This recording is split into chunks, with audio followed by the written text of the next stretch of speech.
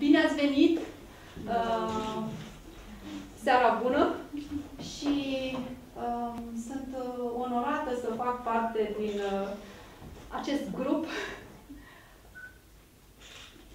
și sunt venită să fiu alături Ancăi pentru a sărbători. Uh, sunt Emanuela Ciucan, sunt actriță și din postura de prietenă uh, am emoții deoarece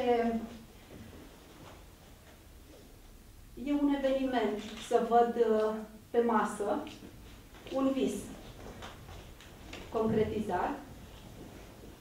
O cunosc pe Anca dintr-un context artistic.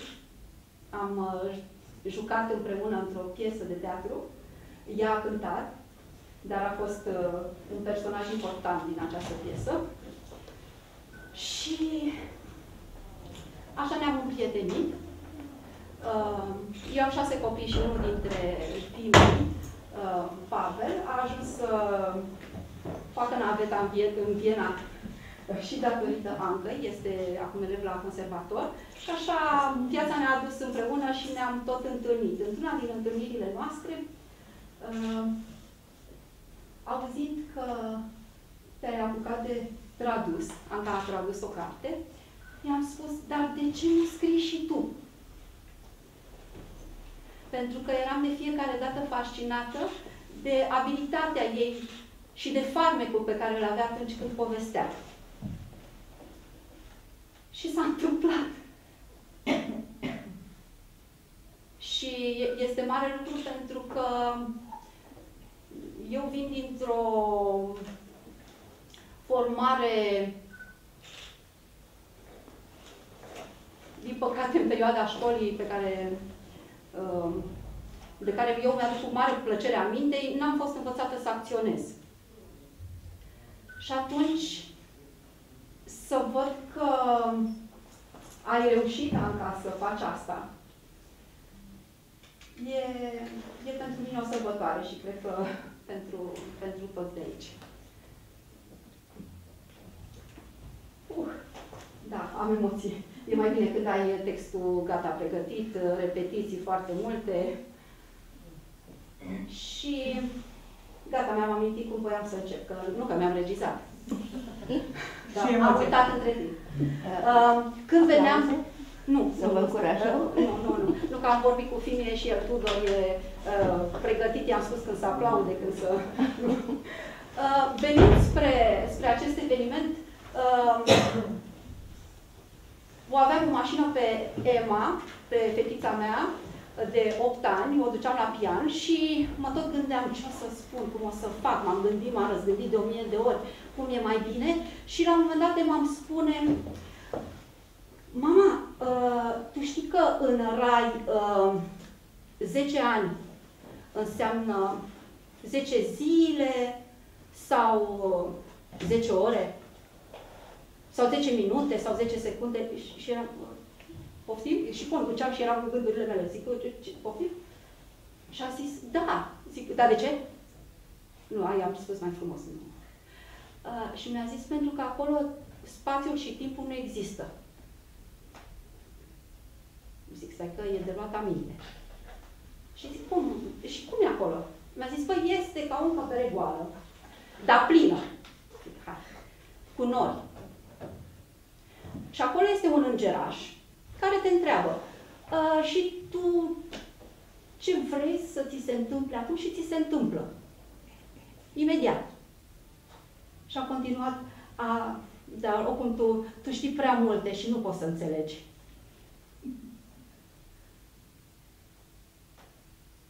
Wow, da, degeaba mă strofoc eu mental să găsesc soluții și să găsesc forme, pentru că, de fapt, conținutul e ăsta. Și mi l-a arătat, mi-a apărut când l-am chemat. Și asta m-a dus imediat cu gândul la, la tine, Anca. Și mare lucru este că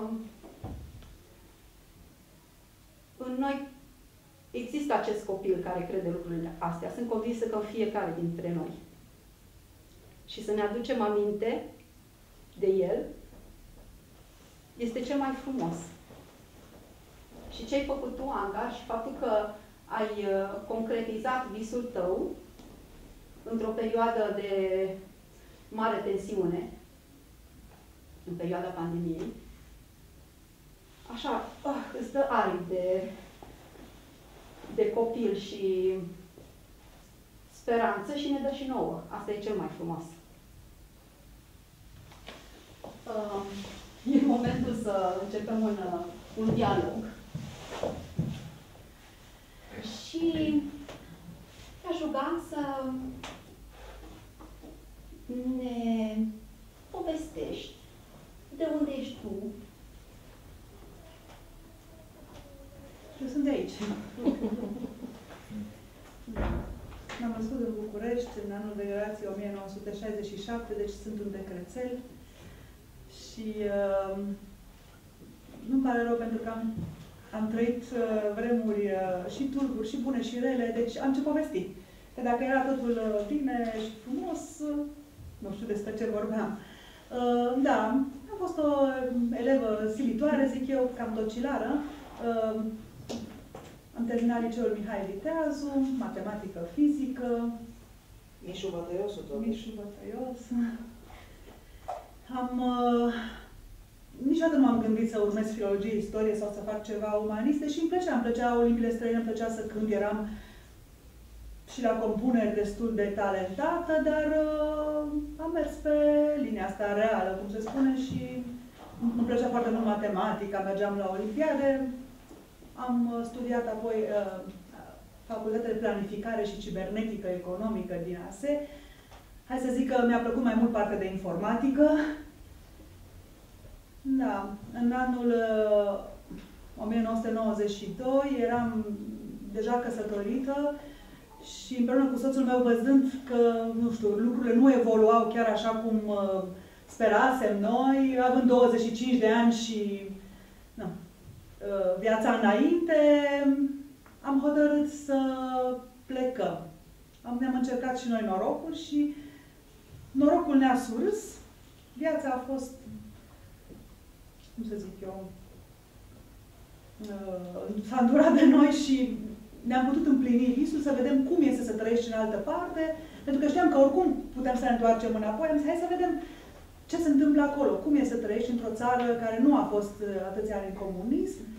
Și ne-a surâs norocul cumva. Eu știam germană încă din uh, școală, din clasa a doua și în facultate am uh, continuat cu limba germană, așa că nu mi-a fost greu, având uh, practic specializarea asta în informatică economică, lucrasem doar în centre de calcul, în 2 ani am lucrat în vreo 3 am schimbat 3 locuri de muncă.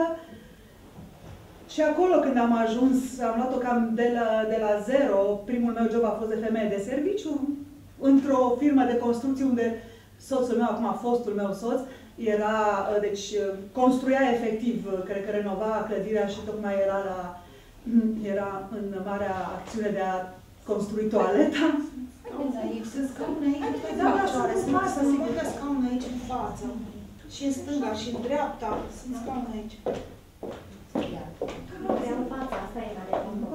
Da, și în stânga și în Deci așa e Practic așa am ajuns în Viena și am pornit-o chiar de jos, dar da, eu cu norocul meu de a fi, de a, eram pregătită pentru piața de forță de muncă austriacă, și am uh, reușit, practic, deși am schimbat și eu două servicii, au dat, deci cum am început eu să lucrez acolo, au dat faliment două firme, una după alta, nu știu, cred că le-am adus eu ghinion, dar um, de la 1 ianuarie 1993 lucrez în aceeași firmă. Este aproape incredibil, da? și este firma de informatică a unei mari bănci, a lui Erste Bank. Și cu latura asta artistică, pentru că te-am auzit cântând, fiind în același uh, spectacol, a fost uh, o mare bucurie. De unde? Păi când de mic copil... Uh, uh, Unde ai copilărit? Bunicii? Da, deci am copilărit în București, dar bineînțeles că în vacanța de vară evadam din uh, Marele Oraș. Uh, mamaia mea a fost prima care a emigrat, uh, din, uh, a venit din Ardeal în București în 1920. de fapt în Ardeale, practic e țara Crișurilor, da. Ea se, deci de origine vihoreancă și mă ducea în vacanțe acolo, da, făceam o lună cel puțin, eram în vacanța de vară într-un sat uh, minunat, de la poale munților Plopișului, unde, bineînțeles că mergeam la toate nunțile, că era perioada de vară și înregistram, am învățat dialectul lor. Uh, vărul meu de gradul 2 este chiar profesor de canto, a fost, a murit din păcate, uh, profesor de canto popular și acordeon, deci cumva am fost în mediul acesta al folclorului autentic și sigur s-a uh, impregnat cumva de mic, mic copil, dar și noi aveam acasă, făceam petreceri, ascultam muzică la pick-up și la radio și Cântam singură de nebună, îmi puneam uh, tot felul de lucruri pe cap, valul, valul și, mă rog, mai multe, am închipuiam cam cio- uh, cu ciorapii aceia lungi, aveam păr lung, pentru că era de tipul scurt, să băiețește. Și doream să am părul lung și să fiu probabil așa undeva pe o scenă. Dar nu, tot, totdeauna am cântat numai de plăcere și uh, pentru prieteni, uh, în biserică, da, bineînțeles, apoi în Viena fac parte din comunitatea greco-catolică, română greco-catolică și cânt în, în corul bisericii.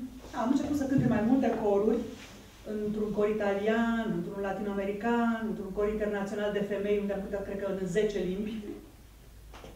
Da, am început să cânt, nu, singur am cântat dintotdeauna, dar am început să, să mă și înregistrez pe, m-a filmat băiatul meu și sunt și pe YouTube cu câteva piese din Maramure și Bihor. Și s-a întâmplat să, așa v-am cunoscut pe voi, s-a întâmplat în viața mea să cânt și într-o piesă de teatru. Cum a fost pentru tine experiența asta? Da, a fost uh, o mare șansă, în primul rând, să fiu pe scenă ca și solistă cumva și să fiu față în față cu publicul și uh, în primul rând a fost o mare șansă pentru că am făcut și turnee, da, premiera a fost la Viena, apoi am fost la Londra, și apoi am avut șansa, pentru că autoarea acestei piese este o româncă ă, plecată în America, am a, a ajuns în America. Acolo ne-am și cumva ne-am prietenit mai mult. Ți-aduce aminte exact, când am stat în grădina din... Ă, California, Da, în California, în grădina ei, ă, pe un balansoar și am cântat da. Noi două, ca două lupaice la lună, toate, nu știu, tot ce ne-a trecut prin minte, dar în special folclor era. E paradoxal să, și a fost paradoxal pentru mine să descoper nu că ești artistă, că asta am văzut din prima, că ești informatician. Da. și um, mă întreb, te-ai gândit vreodată că o să ajungi să scrii o carte? Ai pochetat cu asta în, în perioada, nu știu, adolescentină? Pochetam cu jurnalul. Aveam un jurnal căruia îi încredințam eu toate secretele mele de, mă rog, fetiță. Nu chiar, dar în pubertate l-am folosit mai intensiv, bineînțeles că aveam ocazii. Um, da. Și l-a, l-a citit cineva sau l-ai citit nu, nu, Nu, nu. Unele lucruri nu se... Nu, dar uh, am avut și jurnal uh, de bord pe, pe munte și atunci uh, acolo nici acelea nu au fost citite atunci, dar ele apar sunt acum, carte, apar în deci carte. Le-ai folosit Le-am folosit acum, le-am redescoperit, wow. le-am găsit într-un sertar din pivniță și eu știam că sunt pe undeva și le-am folosit în carte, drumețile mele în redezat și în făgăraș, cred, da, aproape copy and paste ca să ca să fie ceva autentic, domnule, de atunci, scris de atunci, din 1987-88. Și chiar finalul cărții este o pagină din jurnalul meu de, din acea zi, de 5 ianuarie 1990, când se termină cartea. Dar nu, nu credeam că vor ajunge într-o carte, deci asta a fost așa, era doar pentru mine, pentru sufletul meu. Eu mă descărcam în, pe acele pagini.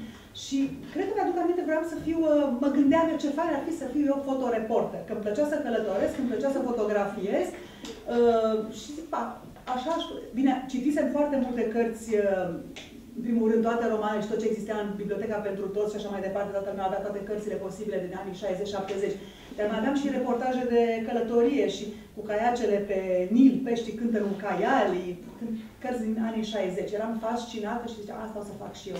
O să călătoresc, deși știam că nu pot călători, că nu puteam să merg nici măcar până în Bulgaria sau poate că chiar acolo am, aș fi reușit să ajung. Uh, tocmai de asta, pentru că era interzis, voiam să ajung undeva la capătul lumii, să fotografiez și apoi să scriu.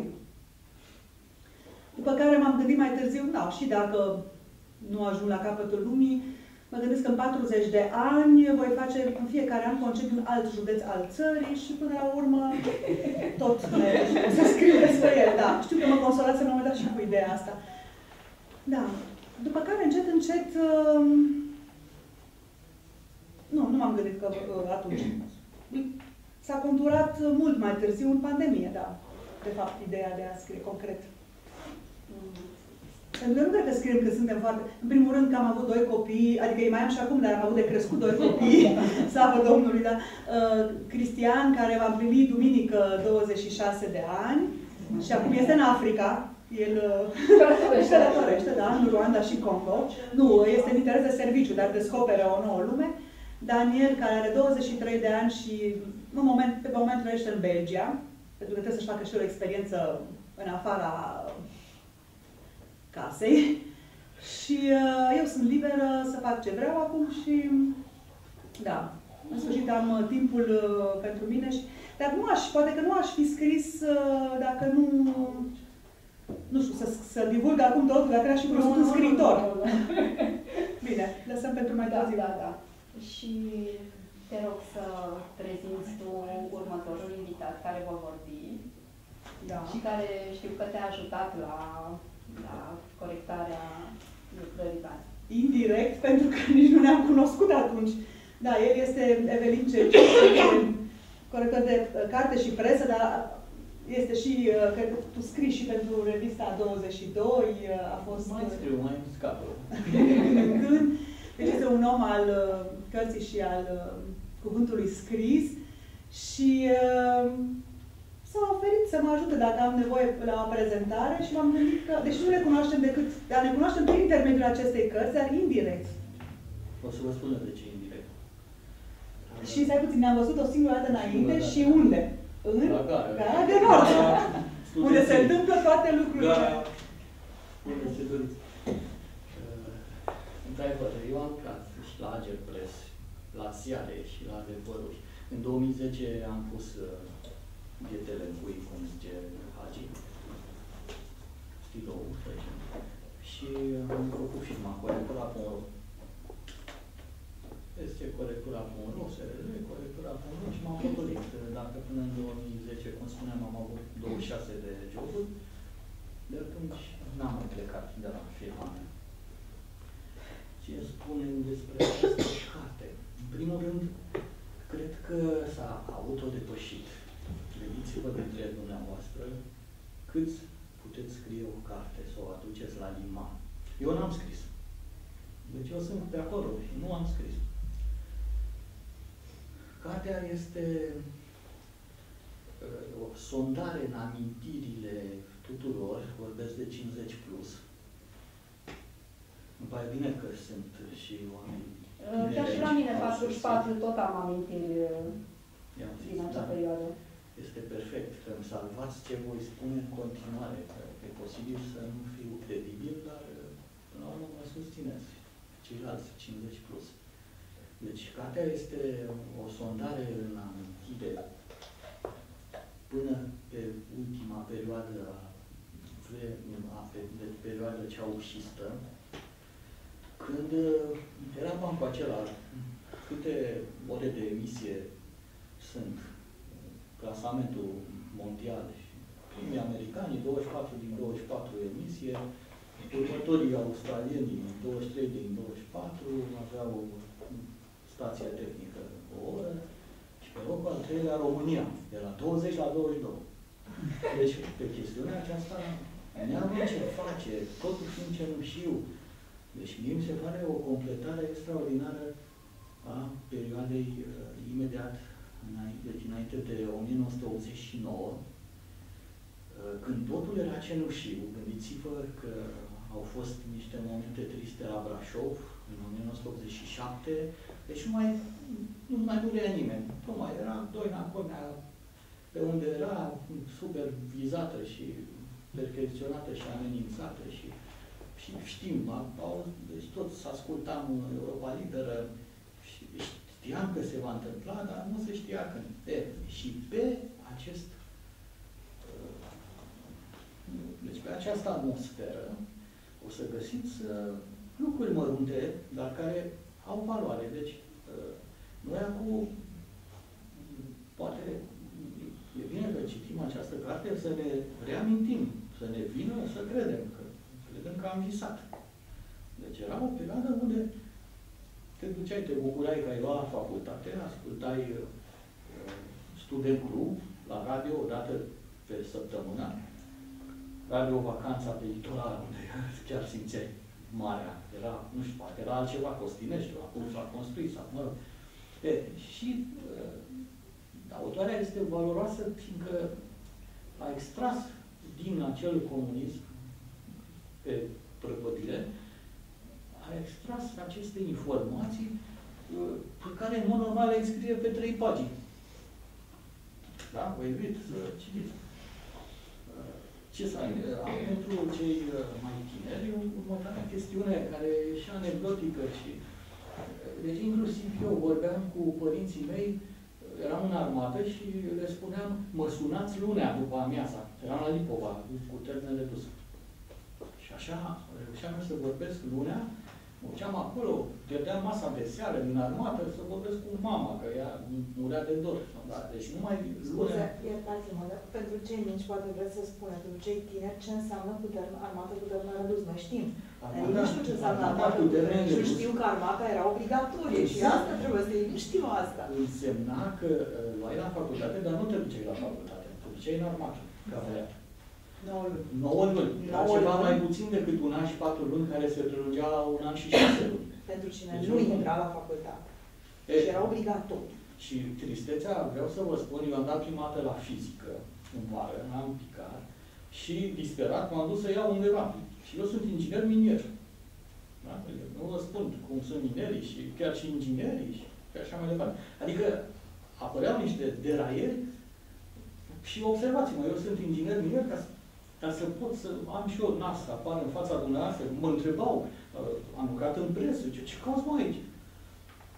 Zice, o treabă, m-am dus, mi-am făcut și un master la SNSP, unde făcea toată lumea ca să fiu și eu, să am o acoperire, cum se zice.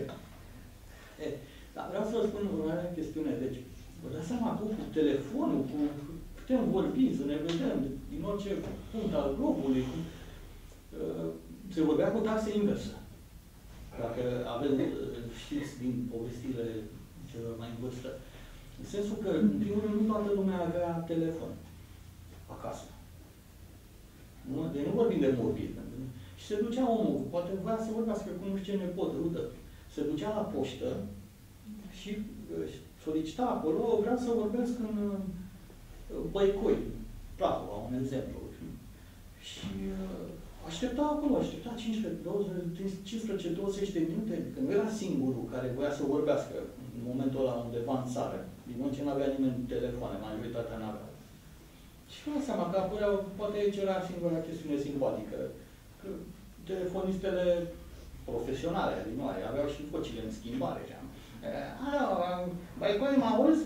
Băicoiule, te, te rog, dă drumul la, nu știu ce, la stație, la cabina 4, da. Am și uitat să scriu despre Nu am putut să scriu chiar despre Eu vă dau niște exemple. Cartea e scrisă cu minte. Da, a spus acum. O să o reediteze, sunt sigur. Mai spumoasă, mai... Ea e scrisă de un cibernetician. Deci, uh, matematică. Pac, pac, pac, pac. Și când s-a îndrăgostit, nu, să nu vă așteptați că Poți să am Scurt și la obiect. M-am căsătorit. Scurt și la obiect. Nu am căsătorit în carte. Uh, dar spune cum s-a negociat, cum s-a căsătorit imediat, am trecut la episodul următor. Însă că soțul meu, fostul meu soț apare în carte asta, vă pot divulga. Trebuie să-l ghiciți cartea asta. Da. Uh, până la urmă, felicitări și este o realizare extraordinară ca să treci așa Multă muncă. dintr-un domeniu în altul, multă muncă, mulți bani, investiție și așteptări și timp. Pur și simplu, nu poți să o faci uh, luna asta, să zicem, am manuscrisul și hai să scot cartea. Nu, pe urmă când o vezi, îți pare rău și acolo aș scrie altfel, te apuci, mai refaci, vei scrii. Și îți trebuie și un dram de noroc. Felicitări și nu vă mai plictisesc eu. Plătesc o seară frumoasă în continuare. Mulțumesc!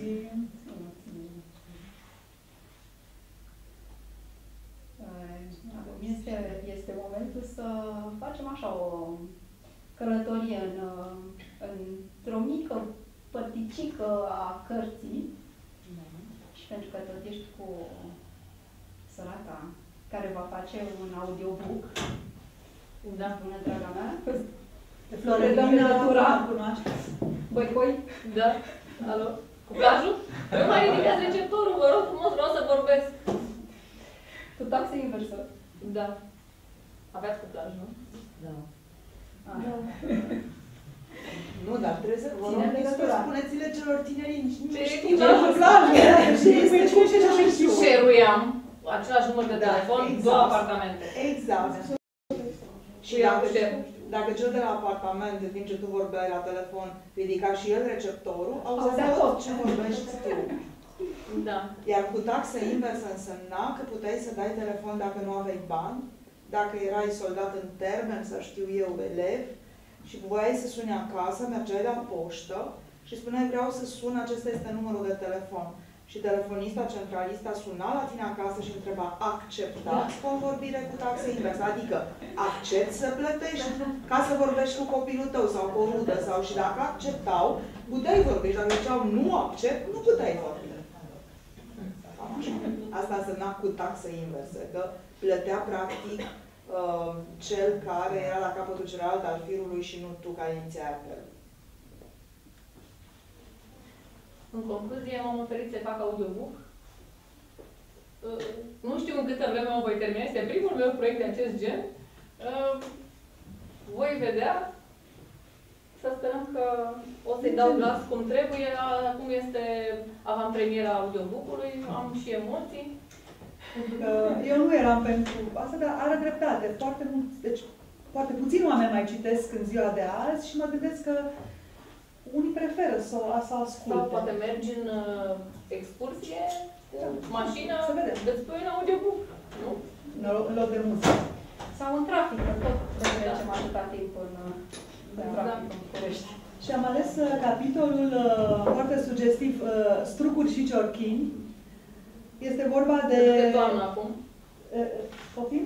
Că tot e toamnă. Da, că tot vine toamna și toamna se numără și bobocii și se coleg și strugurii. Uh, una dintre marile noastre distracții era uh, să mergem uh, toamna la munci agricole, care erau, bineînțeles, uh, voluntare și uh, patriotice și le făceam din tot sufletul. Uh, Am auzit că trebuia să fim și remunerați cu vreo 5 lei pe oră, dar, uh, nu pe oră, pardon, pe zi, dar nici n-am văzut niciun, nici 5 bani. Uh, și, uh, mă rog, în anul 2 de facultate, într-un subiect, am, îl facem împreună. Eu vă spun pe scurt despre ce e vorba, pentru că este un capitol lung. Uh, În anul 2 de facultate s-a întâmplat că am plecat la mare pe la sfârșitul lui septembrie, m-am întors plină de avânt să merg la munci cu facultatea, ne trimiteau la Zimnicea, la cules de struguri, dar cu două zile înainte de plecare am am făcut o febră de 40 de grade, conjunctivită, luasem un virus de la mare, că și pe atunci exista un virus, să nu credeți că nu era. Deschisese ochii. Probabil, da. Și în loc să mă duc la munci, m-am dus la doctor și, normal, în halul în care eram, am primit o scutire medicală pe o săptămână. Ei, dar nici a doua săptămână nu o simțeam foarte bine. Când m-am dus să-mi prelungească, bineînțeles, dacă nu aveai un chent, o cafea și cât sau câteva sute de lei, nici nu trebuia să te prezinți. Cred că nici nu m-am mai dus. M-am dus, am auzit însă de la o colegă, băi, fii atentă că tu poți să faci practică și în facultate, că acolo, aia care sunt cu politico-ideologicul, acolo fac, pavoazează, scriu lozinci pe pereți, șterg cu praf, șterg de praf tablourile lui tovară și du și tu acolo, ce stai, nu trebuie să te duci în halul în care ești la Zimnicea. mă duc curajoasă și, adică, mă rog, eram și o șefă de an, adică nu era, mă aleseseră colegii, în mod democratic, șefă de an, aveam și note bune, zic, de ce să nu mă duc și eu uh, să lucrez în facultate? Mai ales că aveam încă ochii roșii și umflați, adică nu eram așa o impostoare. Ei, și m-am prezentat la tovarășul prodecan, uh, foarte bine cunoscut, pentru că oriunde mergea avea uh, raportul la ultimul congres al Partidului Comunist Român, așa mânuță îl ducea peste tot, așa cum preotul duce Biblia. Și i-am explicat care e situația și că doresc să fac și eu practică în facultate, iar replica lui m-a șocat. Nu, nu se poate, tovarășă studentă, aici nu mai e loc. Dumneavoastră, văd că sunteți sănătoasă, voinică, numai bună de muncă. În agricultură e nevoie de fiecare mână disponibilă. Au dificultăți cu îndeplinirea normei. Mâine să faceți bine să luați primul tren la Ghinicea și să vă prezentați la ora 9 dimineața la tovarăș asistent Găvan, responsabil cu muncile în baza de practică la baraca numărul 5. Fără discuții. S-a înțeles? Da, tovarăș și profesor, am început eu timid. Nu discut. Urgent, îmbarcarea și la baza de practică. Am plecat cu coada între picioare, nu venea să-mi cred ochilor și urechilor. Da, pe hol mișunau asecistele noastre în rochițe cu bolnașe și uh, își făceau munca patriotică. Eu m-am uitat cu jici și a doua zi, la ora 5, m-am urcat în tren în gara de est, într-un tren personal care, mă rog, în care se întâlneau toate mirosurile de la usturoi la brânză și salam, am coborât cam debusolată în zilnice, am întrebat unde o fi baraca numărul 5, cineva mi-a spus dealurile cu viță de vie este acolo, am trecut direct peste căile ferate, m-am trezit pe un drum prăfuit, vreo două camioane au trecut pe lângă mine, nu m-a luat niciunul, în sfârșit, în sfârșit, tot, pentru că erau vreo 5 km de mers și trebuia să fiu la ora 9 acolo ca să nu mă dea ăștia dispărută. În sfârșit se oprește un camion. Șoferul, butucănos, cu părul lipit de fruntea grasă, arsă de soare și plină de bromboane de sudoare, s-a uitat de sus așa la mine cu ochi lacomi. Sărmânușitele Gagico, ce-ți dorește inimioara? Se pare că și așa prăfuită eram o cuicuță atrăgătoare pentru el, judecând pe privirile la îngroase cu care mă măsura din cap până în picioare. M-am uitat foarte serios în ochii lui. Uh, bună dimineața, tovarășe! Am primit ordine expres de la secretarul de partid de la București să fiu la ora 9 la baraca 5 a studentelor de la ASE. Tovarășul Găvan în persoană a fost înștiințat telegrafic de sosirea mea și mă așteaptă. Nu se mișcă de acolo până nu ajung. Am spus eu pe nerăsultate textul cu partidul, ca să-i tai din start cu macaroana. Aoleo, păi spuneți așa, tovărășico, dacă avem uh, misiune de la partid, o executăm cu cinste. Străiți, Gata, dă drumul, vă duce băiatul la baracă sau unde vrea partidul, acum și că ajungem. Așa trebuia vorbit cu idioții ăștia, puneai partidul în față și se căcau pe ei de frică. Da.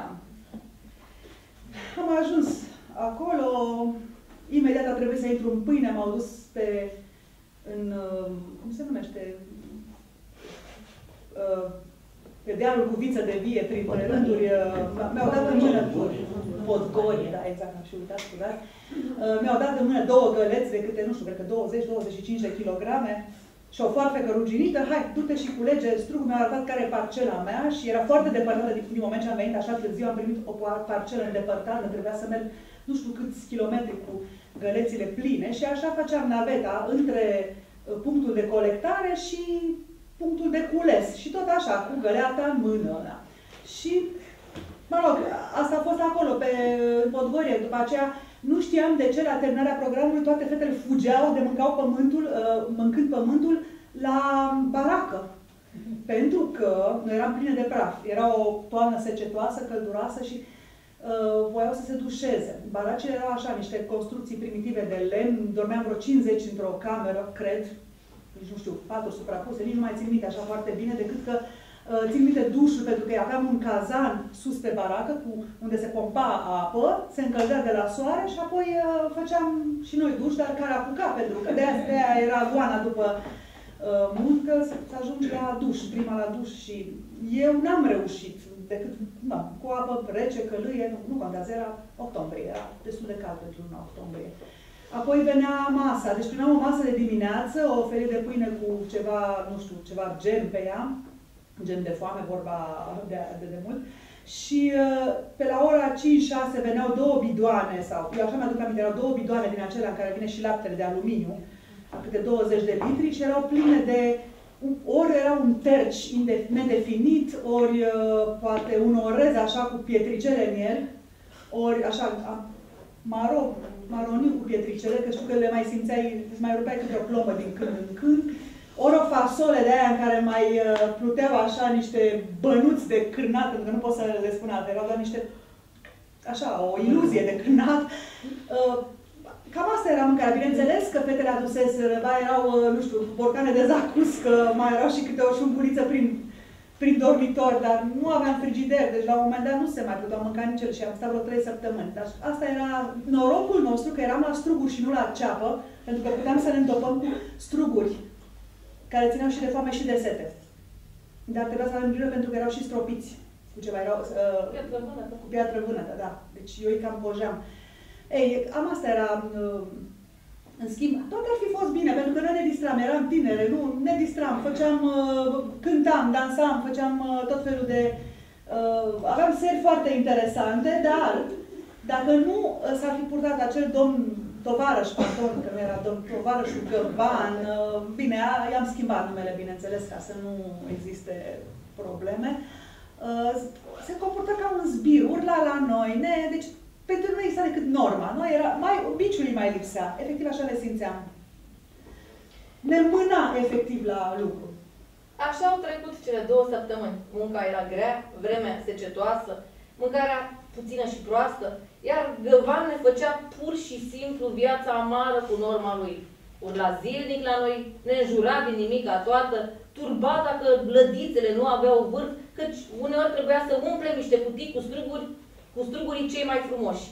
Unele colege, mai descurcărețe, se puseseră bine cu cele de la pontat, poate le mituiseră cu ciocolată sau ceva asemănător. Nefiind în stare să mă învârt așa de bine, eram veșnic pedepsită de găvan și amenințată că voi suporta consecințele de rigoare pentru atitudinea mea de sabotare a muncii patriotice. Nu luam în serios, credeam că vorbește să mă doarmă. Ce sabotaj, că doar munceam din greu, din zor și până în seara, nu stăteam la taclale pe tarla. Uh,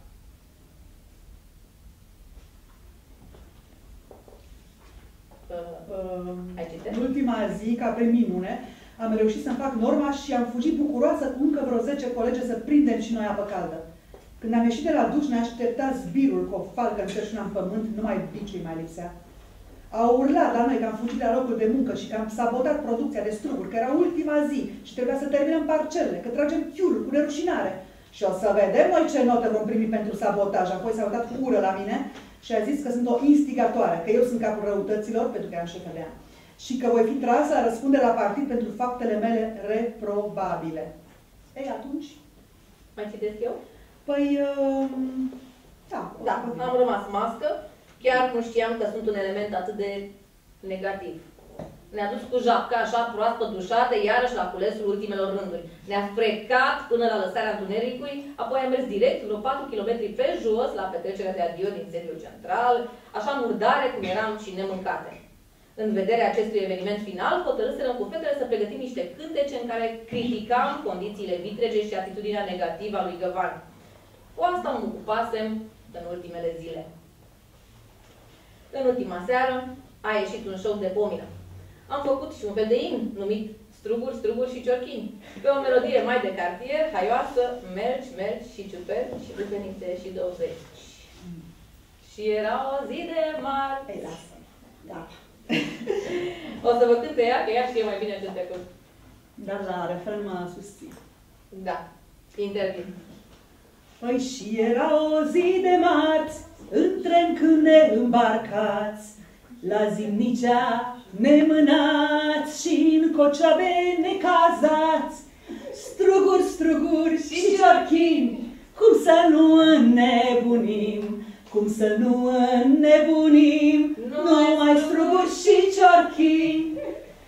Și aveam și un economist, era singur, era trist, dar pe loc s-a înveselit, aseiste i-au sosit. Struguri, struguri și, și ciorchini, cum să nu înnebunim, cum, cum să nu înnebunim, numai struguri și ciorchini.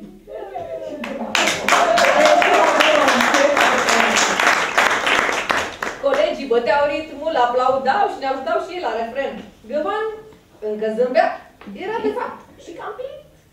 Apoi i-am cântat dedicația specială, drept răsplată pentru tot ce ne făcuse în săptămânile alea de muncă asidu închinată patriei socialiste. Folosise melodia de la Puștoaica, un cântec foarte cunoscut pe vremea aceea de la Cenaclul Flacăra. Mai dau exemplu? Sau și toată lumea, nu? Puștoaică, tu ai sânge de viper. Adaptat la munca noastră. Dedicație. Găvane, tu ai sânge de viperă, Găvane, Pa-ra-pa-pa. îți zic adio și te las, da, da, tu, tu, ne întorceai cu lădițele, da, da, tu, tu, căci erau fără vârf, Găvane, prea credincios, Pam-pam-pam. Dă, Găvane, Pam-pam-pam. de acum nimic nu are rost, da, da, tu, tu, ne chinuiai cu gălețile, Pam-pam-pam. da, da, tu, tu, ne stresai cu norma ta, taram, taram, pam, pam. Asta ne...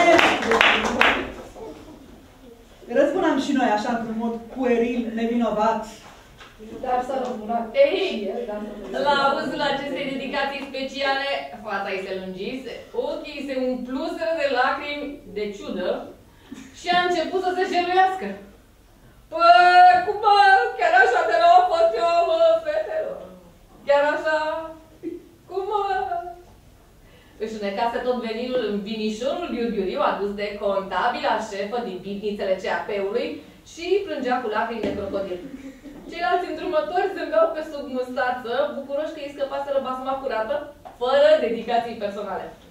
Eu savuram mica victorie de moment, nebănuind ce avea să urmeze. La scurt timp după reînceperea anului universitar, am fost înștiințată de o primă consecință a comportamentului rebel avut la muncile agricole. Găvan nu îmi încheiase media la practică sau, de fapt, îmi pusese un patru cât mine de mare.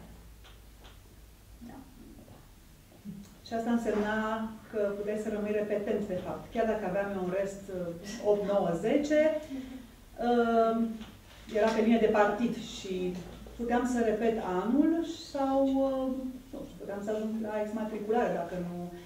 Dar partidul avea o soluție pentru orice și mi-a oferit o soluție să participi la defilare. Da. Ca să Pentru mi se ierte toate necunoscători, păcatele. Pentru tineret, defilarea era Parada de 23 august. Dar asta este o altă poveste. Și apoi s-a răzbunat uh, și mai crunt la o ședință de partidară, bineînțeles că asta sunt alte capitole din carte și cine este curios, le va afla la lectura acesta. Mi-a făcut post- poftă, felicitări. De-abia aștept, eu mă abonez. Mi-a La plăcut audio. foarte mult. uh, De-abia aștept să aud uh, înregistrarea ta. Felicitări. Uh, Sunt uh, foarte fericită că nouă ni s-a alăturat Ana, Ana Barton. Uh, O scriitoare Zici tu că care e se sensibilă spune, în care se copac. spune într-un atât, într-un mod atât de sincer și de creativ încât uh, te îndrăgostești și vrei să o mai citești și mă bucur că ai lansat de curând uh, o carte care a fost a cât a? Ana? Uh, Acum, da. Cu semnătura mea. Am mai mult am pus în, cu mai multe semnături. Uh, Dar uh, nu despre cartea mea, nu despre despre despre cartea mea. Știam. Uh, Că de-aia sunt aici. Să vă duc spre cartea Andrei și mulțumesc pentru invitație. Îi mulțumesc, Emanuel, a fost o surpriză pentru mine. Ai acceptat să vii. Mi-a plăcut foarte mult cartea asta, uh, care m-a implicat în momentul când uh, i-am citit uh, deschiderea, uvertura, dacă vreți. Mi-a plăcut foarte mult. Și mi-am dat seama imediat că vreau să merg mai departe și că vreau să merg mai departe cât mai repede, ca să zic așa. Îmi place foarte mult. Dacă îmi dați voie să vă citesc și eu foarte puțin. Studenții formează o categorie aparte printre tinerii oricărei generații. În primul rând, pentru că sunt deja maturi, dar încă dependenți de părinți. Sunt practic niște elevi mai mari au idei și idealuri, dar nu le pot concretiza cu ușurință, nedispunând de mijloace financiare. Acum lucrurile nu mai stau așa neapărat. Mulți dintre studenți lucrează uneori și elevii de liceu. Dar atunci, așa se dau lucrurile. Numai studenții la fără frecvență, ceea ce ar însemna acum la distanță, uh, pot, puteau lucra. În rest, studenții la zi nu aveau când cum să lucreze programul de cursuri fiind atât de strâns. Se va afla la început de drum și într-o permanentă devenire. Studenția este ca o gară în care tinerii intră cu bagajele doldora de cunoștințele acumulate în anii de școală și cu sufletele pline de năzuințe și speranțe.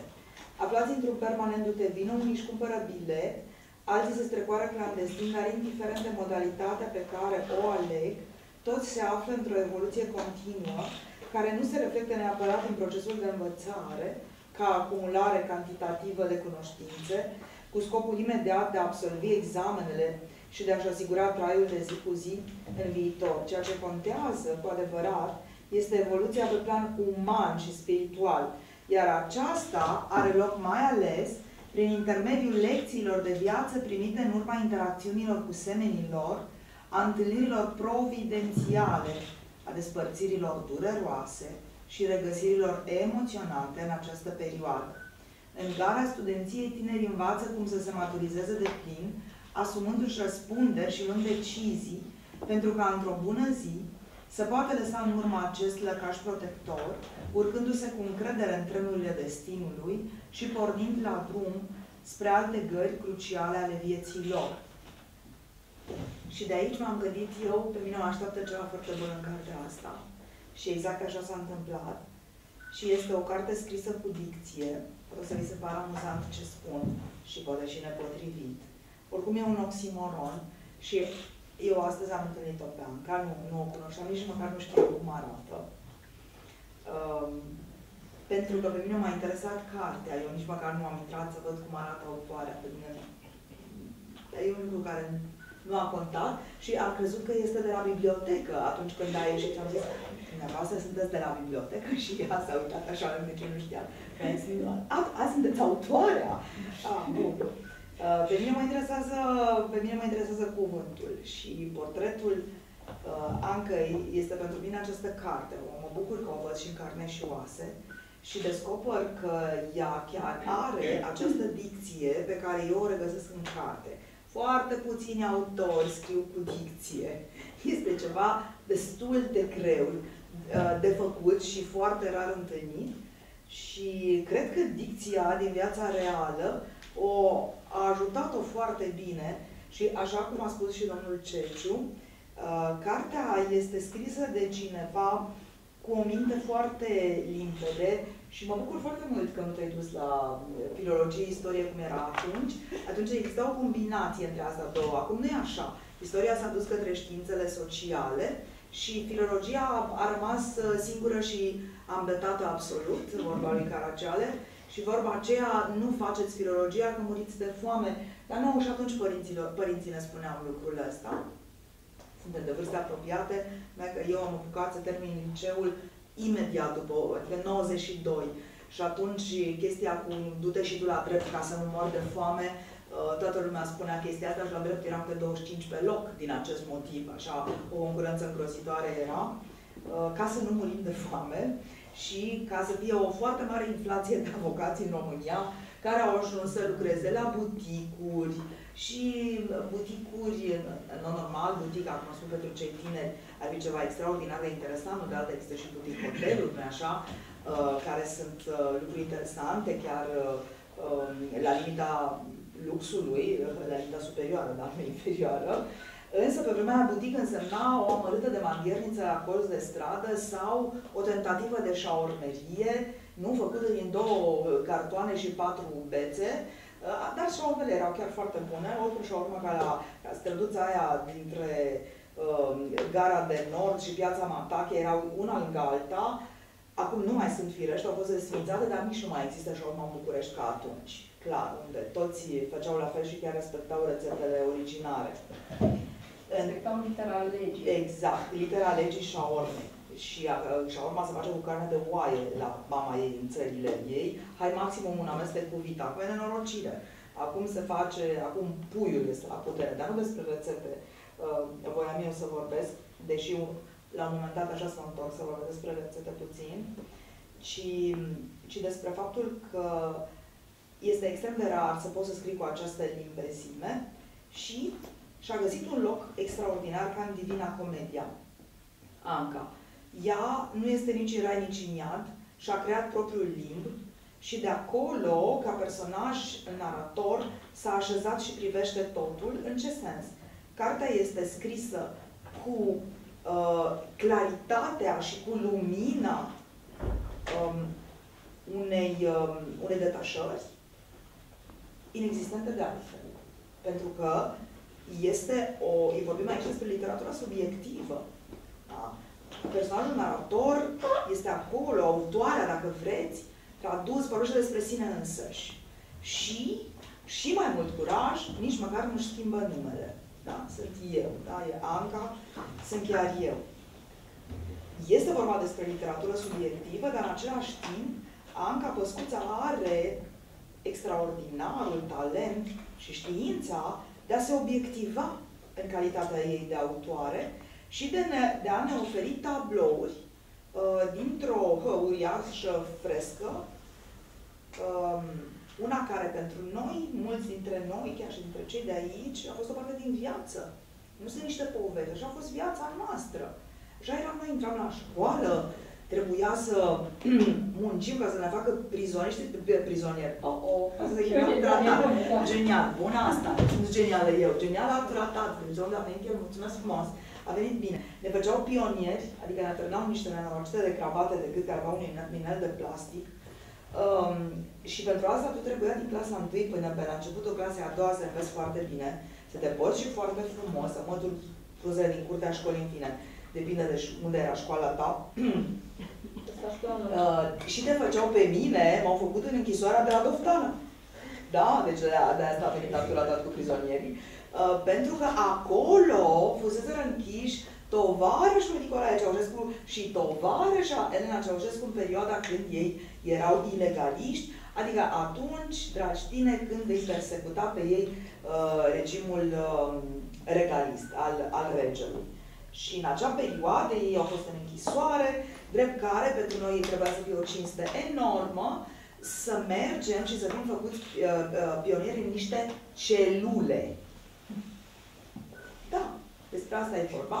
Iar înainte de a ajunge noi la Doftana lângă Ploiești, la celule, am fost duși la mausoleul de la Mărășești, unde sub sticlă erau mii de cranii. Ceea ce pentru niște copii de 8 ani cu adevărat era emoționant, dar cum? Era terifiant. Și acolo ne duceau să fim mândri, să fim mândri de ostașii noștri, nu așa, care au câștigat în primul război mondial bătăliile de la Mărăști, Mărășești și Oituz. După care veneam cu autocarul, unde vomitam, mulți vomitau, de frică, de, de multe, din multe alte motive, niciun caz de rău de mașină. Dar pe vremea aia, când copiii se speriau, le de două palme, îi trimitea într-o altă cameră, în momentul când copiii se speriau, ce treaba pentru că se speriau? Copiii de-aia făcuți, să, să se sperie. Și despre lucrurile astea, destul de rele pe care le-am trăit noi mulți de aici, uh, Anca povestește cu detașarea cu care tu, ca cititor care n-a trecut prin așa ceva, nu te sperii. Chiar nu te sperii. Și nu te sperii și te amuză și faptul că noi făceam practică diferit fetele cu băieții. Um, era o segregare naturală. Pe băieții duceau să învețe niște traforaje și tot felul de chestii pentru băieți și pe noi ne puneau să facem gospodărie. Adică, trebuia să știi și să faci o ciorbă, o tocăniță, să coși, uh, să faci niște modele pe etamină, ai înțeles niciodată cu modelele, pe etamină să tricotezi, să croșetezi. N-am, uh, am văzut că Anca a învățat să facă, după tipare, niște uh, bluze, ce se o fuste, pe cine Cămașă de noapte și față de, de noapte și față de perna, exact. Eu n-am fost bună la chestia asta, deci am fost foarte, foarte îngrămădită la chestia asta. Am mers cu tricotatul și cu croșetatul la croitoria nu. Și ea zice, și bine zice, uh, că a existat o parte bună a lucrurilor ăstora și chiar a existat o parte bună. Și ar fi bine să o vedem. Și anume, că am fost obligați să avem o oarecare îndemânare. Da, de exemplu, eu n-am știut să fac tipare, dar am învățat să tricotez, să croșetez și să trebuia să știi să coși nasture și nu numai să faci o gaică corect. Uh, o să ziceți, nu e mare lucru. Nu? Păi fac și acum o gaică. Și mai mult decât atât. Și de gustul nostru era bun, poate și un cățel, la limită, poate să coasă un nasture, dar o gaică nu. Poate să creeze. Însă, în momentul în care hainele erau puține și la fel, pentru că noi nu doar aveam uniforme școlare, tot ce se găsea în magazine era la fel. Deci era o uniformizare și în magazine. Adică, atunci când ieșeai pe stradă, majoritatea doamnelor, toamna, de exemplu, când apăreau o, niște botine, la vremea asta, strada, dacă tu ai fi fost um, un acarian și trăiai în praful de pe trotuar și vedeai doar picioarele, vedeai aceleași picioare. Tu credeai că trece același om multiplicat. Despre asta vorbesc. Așa era uniformizarea de rea și de grea. Și atunci, cine învățase bine la lucru manual se, se, se numea chestia asta. Nu știu la băieți cum se numea tot Deci, atelier. Atelier. Um, cine învăța să facă lucrurile astea putea să-și facă o haină și avea și un pic de imaginație, eu n-aveam. Eu n-am niciun talent artistic. Adică pot să scriu, dar vreau să zic, noi în general nu numim literatura artă, deși și ea este o artă, dar mă refer la, nu știu să desenez, nu pot să desenez, nu pot să pictez, nu știu să fac Adam pe loc. Fac ca un copil de 5 ani Uh, și nici ăla foarte fericit. Um, nu e nicio evoluție în desenul meu în 40 și bă, um, aproape 5, nu, 44 de ani de când aveam 5 ani. Așa, și fiecare încerca să se lipească de cineva din familie care avea un astfel de talent, ca să nu mai arătăm toți la fel, ca să nu nebunim. Despre asta e vorba. Or, Anca scrie despre lucrurile astea și uh, cel mai mult m-a impresionat, e mai mult decât mi-a plăcut, m-a impresionat în cartea asta că nu dorește să apese pedala tragică. Deși o descrie.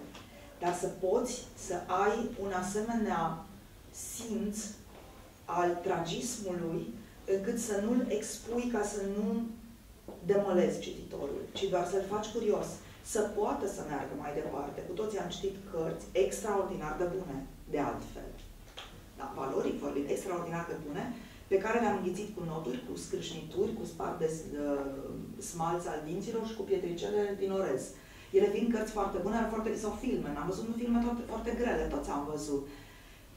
Anca are știința și arta de le ține lângă ea în poveste și de a-ți arăta toate, toată expoziția ei, uh, în care, între lucrări, este o legătură.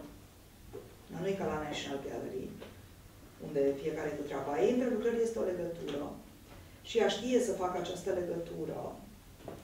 Și ea știe să ne întoarcă pe noi, cei care am trăit vremurile alea acolo, dar cred că mai mult decât atât și vreau să cred și vreau să sper că mai mult decât atât, eu astăzi i-am povestit fiicei mele, care săptămâna viitoare face 21 de ani, despre Doamne ajută și dumneavoastră la fel, iar cei care nu aveți, puteți să stați liniștiți. Uh, zic. Tot săptămâna viitoare fac și ei noștri. Așa, așa. Um, și povesteam despre cartea asta și probabil că am făcut-o cu atâta însuflețire încât a zis uh, vreau și eu, vreau să mă apuc acum de cartea asta. Și am zis că este o, este o carte um, care este necesară, pentru că voi nu aveți tablouri ale istoriei recente. Nu le aveți. Puteți să mergeți la mare și vă recomand tuturor celor tineri și pe ceilalți mai de vârsta mea, vă rog să mergeți la mare. Este Muzeul de Artă Recentă, uh, unde sunt lucruri extraordinare de văzut și cu toate astea, cuvântul are rostul lui. Căci dacă n-ar fi avut, n-ar fi existat noi. Și pentru asta este cartea asta. Pentru ca pe noi să ne facă să nu uităm și să ne bucurăm de ceea ce avem, iar pe cei mai tineri să se facă, să fie un pic mai rezistenți la transferul de generații de ei au nevoie. Uh, Rada mă întreba astăzi ce înseamnă asta. Oarecum nu identic, oarecum la fel i-am spus și ei. Și am zis uh, să nu mai faci criză de tantrum din nimic, să înțelegi uh, cum trăiau oamenii atunci și cum reușeau să scoată bucurie din piatră seacă. Pentru că Poate dacă vouă tinerilor, tinerilor vi se pare că noi eram niște triști și niște pierduți, o să spun că este greșit. Nu, nu eram niște triști și niște pierduți. Uh, făceam tot posibilul să... și știam cum să ne bucurăm. Și ne bucuram unii de alții pentru că ceea ce aveam noi, dragii noștri, ne aveam unii pe alții. Și erau puțini între noi trădători, între prietenii apropiați. Pentru că la vremea aceea să trădezi însemna să plătești prețul singurătății pe loc și pentru zeci de ani de acum înainte, nu zic pentru totdeauna, nu vreau să fiu dramatică, dar așa, așa se plătea trădarea. De ce? Pentru că trăind într-o dictatură, noi nu aveam încredere în nimeni. Și atunci când reușeam să construim încrederea, încrederea aia era neprețuită. Nu este ceva cu care să o poți prețui pe lumea asta. Și dacă cineva trăda acolo, era un om care se condamna la singurătate. Noi asta era tot ce aveam. Uh, atunci lucrurile cumpăra, toată lumea putea cumpăra ceva atunci. Atunci nu erau oameni atât de săraci ca acum. Dar ceea ce puteam cumpăra nu avea valoare, nu avea frumusețe, nu avea bucurie. Era ca și cum am fi putut cumpăra niște cartoane exact cu acea culoare a cutiilor de ambalaj. Cam asta puteam cumpăra. Și pentru asta pentru că omul fără frumusețe și fără bunătate, fără căldură, el nu poate trăi, decât dacă se transformă el însuși într-o cutie de ambalaj. Noi eram obligați să săpăm în noi și să construim toate lucrurile astea. Și asta ce însemna? Că noi construiam în continuu emoție și relație. Și așa trăiam. Și așa se nășteau cântecele alea de pe munte sau de pe țărmul mării. Așa se construia această, un fel de societate insurgentă a noastră, a tinerilor, care nu se manifesta, că nu putea manifesta, prețul ar fi fost prea mare. Dar atunci, dacă erai prea îndrăzneț, îți băgai copii, părinții direct în pușcărie și tu mergeai în casa de copii. Ori tu știai foarte bine asta și noi știam când să vorbim și când să tăcem. Dar pentru că știam când să, tăcim, să vorbim și când să tăcem, exercițiul tăcerii făcea ca ceea ce vorbeam să aibă rost. Nu vorbeam ca să vorbim. Nu făceam ca să facem. Sentimentul ăsta al rostului mi-l cream de mici și era o formă de rezistență. Toți oamenii îl creau singuri, nu eram învățați să facem asta. Dar era forma noastră de a ne opune, fără ca opoziția să fie explicită. Și despre toate lucrurile astea scrie Anca așa de bine, că eu aș duce de cartea asta în toate școlile din țara asta, în locul orelor de istorie recentă. Ana, apropo de școli, avem aici uh, elevi și eu sunt foarte curioasă să aflu uh, impactul a ceea ce au auzit deocamdată aici, pentru că n-a ajuns cartea încă la ei. Și mi-a mai venit un gând ascultându-te rezistența care a inspirat gândirea creativă și Uh, domeniul artistic s-a dezvoltat parcă mai abitiv datorită, datorită mult, am putea spune pentru că a fost un, un aspect pozitiv care s-a născut acolo.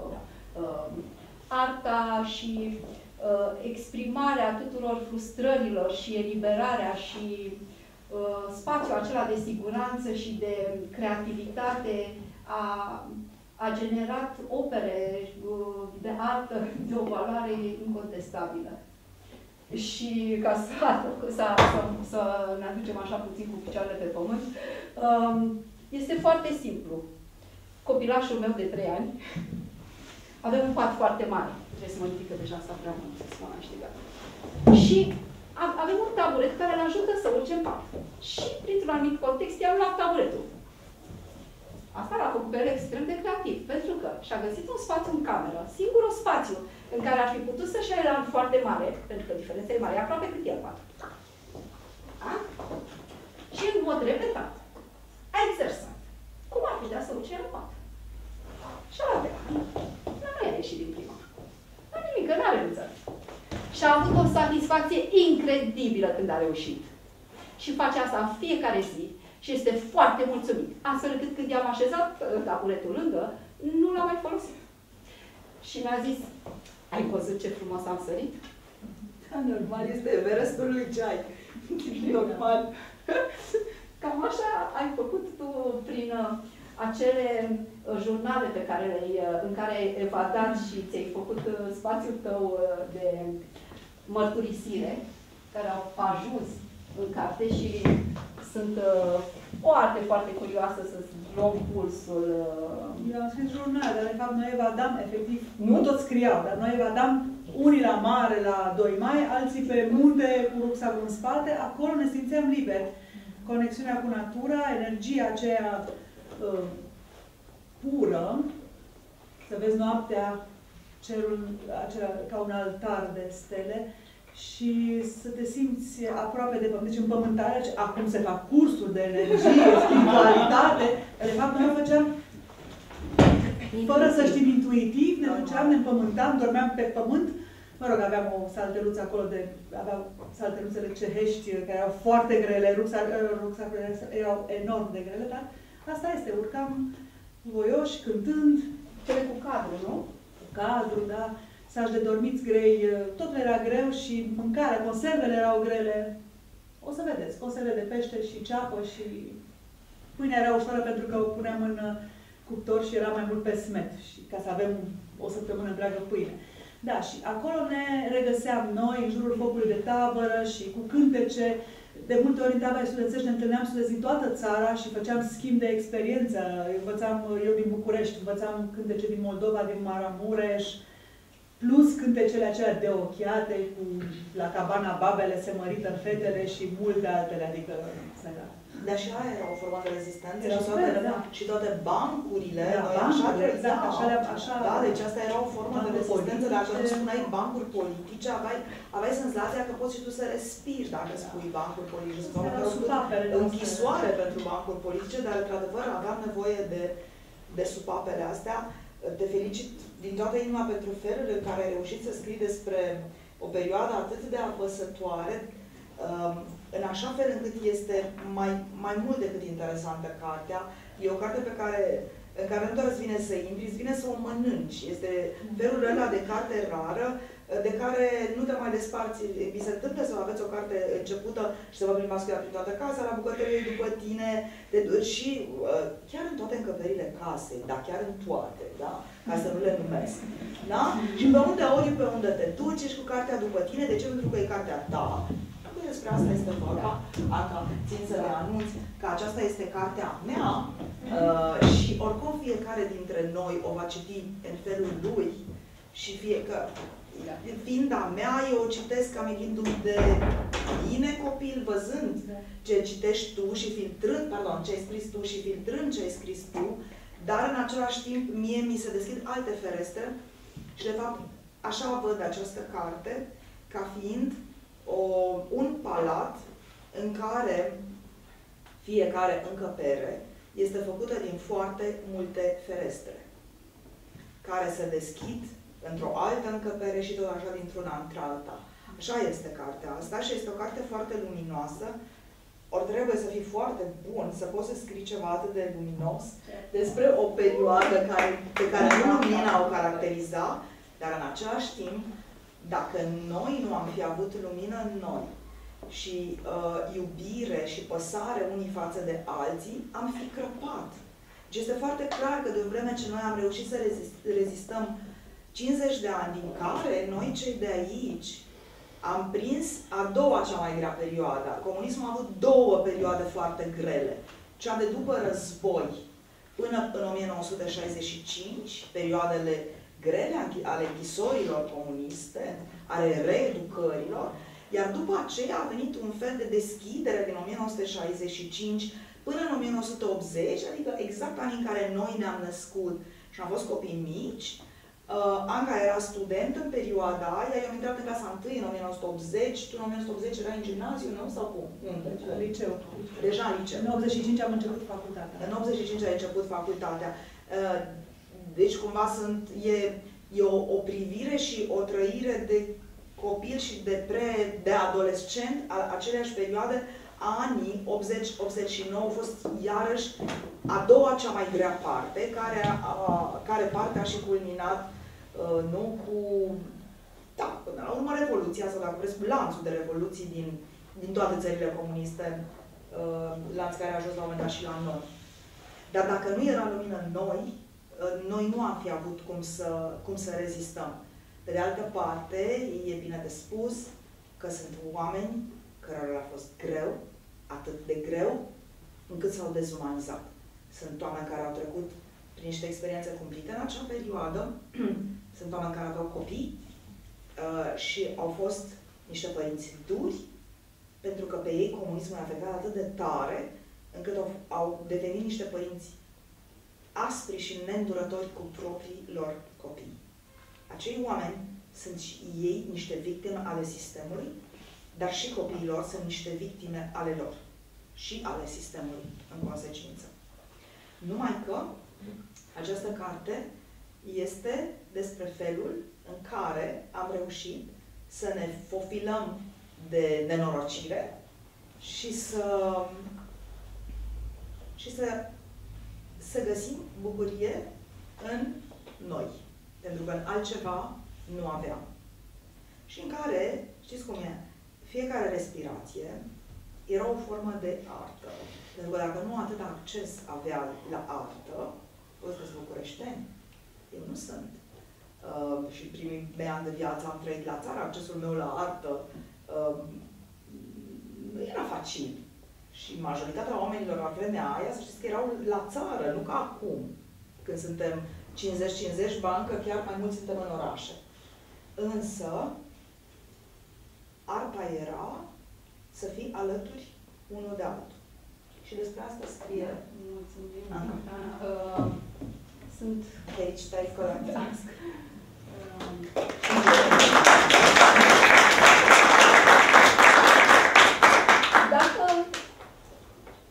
trezit în voi întrebări. Suntem